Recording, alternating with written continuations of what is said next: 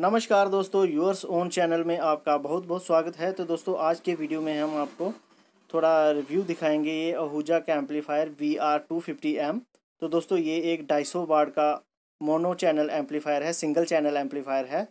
तो इसके बारे में हम थोड़ा बहुत देखेंगे। तो ये आप इसका फ्रंट में देख सकते हैं मास्टर वॉल्यूम स्विच क्योंकि ये सिंगल चैनल है, इसीलिए इसमें एक ही स्विच है और उसके साथ ये आगे आउटपुट लेवल्स तो उसके बाद आप देख सकते हैं ये सिलेक्टर स्विच इससे आप यूनिट ड्राइवर और बॉक्स ड्राइवर में सेलेक्ट कर सकते हैं, क्योंकि ये अगर बॉक्स ड्राइवर पे होगा तो उसमें हाई लो फ्रिक्वेंसी ज़्यादा होती है, जिससे हमारे यूनिट ड्राइवर जो हैं, सड़ने का खतरा रहता है। तो उसके बाद ये आप देख सकते हैं बेस और ट्रैवल कंट्रोल ये दो बैंड का इक्वलाइज़र है।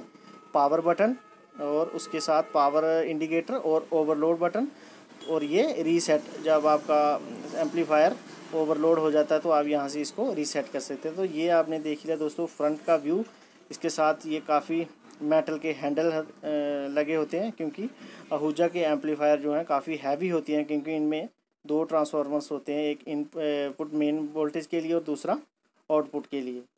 तो उसके बाद आपको बैक पैनल में दिखाएँगे। तो सबसे पहले आप देख सकते हैं, ये इसका बैक पैनल आ गया।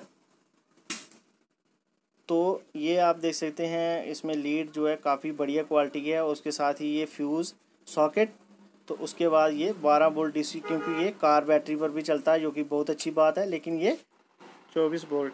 पर चलता है तो इसके लिए ये मैंने एक डायग्राम बनाया, आप देख सकते हैं, इसमें मैंने 12 वोल्ट की दो बैटरी को जोड़ के 24 वोल्ट का सर्किट बनाया तो आपने इसी तरह इसको बैटरी पे चलाना है। तो उसके बाद फ्रेंड्स आगे आप देख सकते हैं, इसको ये अर्थिंग के लिए पॉइंट दिया होता है, क्योंकि अगर आप सिस्टम में हम नॉइस या कोई इस तरह की कोई नॉइस आ रही है तो उसके लिए। तो उसके बाद ये रेड कलर की स्ट्रिप आप देख सकते हैं, इसमें हम लाइन लाइन मैचिंग जो स्पीकर्स या यूनिट ड्राइवर चलाते हैं क्योंकि इसमें सत्तर और सौ वोल्ट के इस तरह का जो है, अहूजा का आप देख सकते हैं यूनिट ड्राइवर इसमें चला सकते हैं ये, क्योंकि अलग डिज़ाइन का होता है। तो उसके बाद आगे आप देख सकते हैं ये ब्लैक कलर की जो स्ट्रिप जिस पे कॉमन फोर ओम और एट ओम लिखा हुआ है इस पर आप दूसरे सिंपल स्पीकर जहाँ आप यूनिट ड्राइवर इस पर चला सकते हैं। तो ये देखिए, इस तरह का आप ये ए यू सिक्सटी ये साठ वाट का यूनिट ड्राइवर है। तो आप इस तरह के चार जो है इस पर आप चला सकते हैं। तो उसके बाद आगे आप देख सकते हैं ये इनपुट सेंसिटिविटी के लिए सिलेक्टर दिया हुआ है। तो आपने किस, कितनी इनपुट सेंसिटिविटी चाहिए है तो वो आप अपने हिसाब से सेट कर सकते हैं, जो कि टू हंड्रेड एम बी से लेके वन वी तक है। तो उसके बाद आप देख सकते हैं इसमें दो इनपुट दिए हुए हैं। तो जैसा आपने देखा कि इसमें कोई भी माइक इनपुट नहीं है। तो अगर आपको इस पर माइक्स वगैरह चलाने हैं तो उसके लिए आपको अलग से या तो आप मिक्सर के साथ इसको अटैच कर सकते हैं, या फिर इको सिस्टम इसको लगा सकते हैं। तो क्योंकि इसमें माइक इनपुट नहीं है तो ये अहूजा का लोगो आप देख सकते हैं मेड इन इंडिया जो कि बहुत अच्छी बात है।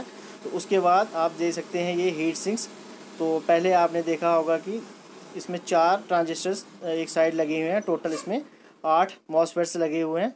तो पुराने वाले एम्पलीफायर में आपने देखा होगा कि वो बाहर की तरफ़ जो है तीस पचुंजा ट्रांजिस्टर लगे होते थे। तो आजकल इन्होंने अंदर की तरफ़ मॉसफेट लगाए हुए हैं। तो उसके बाद दोस्तों ये मैंने डायग्राम बनाई है तो आप इसमें क्या क्या चला सकते हैं। तो ऊपर पहले आप देख सकते हैं जैसे इसमें आप हंड्रेड प्लस हंड्रेड वाट के दो स्पीकर्स इस पर अच्छे से चला सकते हो, क्योंकि इसकी कैपेसिटी जो है ढाई सौ से तीन सौ वाट है। तो इस तरह के आप इस पर दो स्पीकर चला सकते हैं। तो उसके नीचे आप देख सकते हैं यूनिट ड्राइवर तो क्योंकि ये साठ वाट का एक यूनिट ड्राइवर है तो आप इस पर चार लगा सकते हैं, क्योंकि ये दो सौ चालीस वाट के हुए तो ये इस पर चार लगा सकते हैं। तो दोस्तों, अगर आपको वीडियो अच्छा लगा तो लाइक कीजिए शेयर कीजिए, और जिन दोस्तों ने अभी तक चैनल को सब्सक्राइब नहीं किया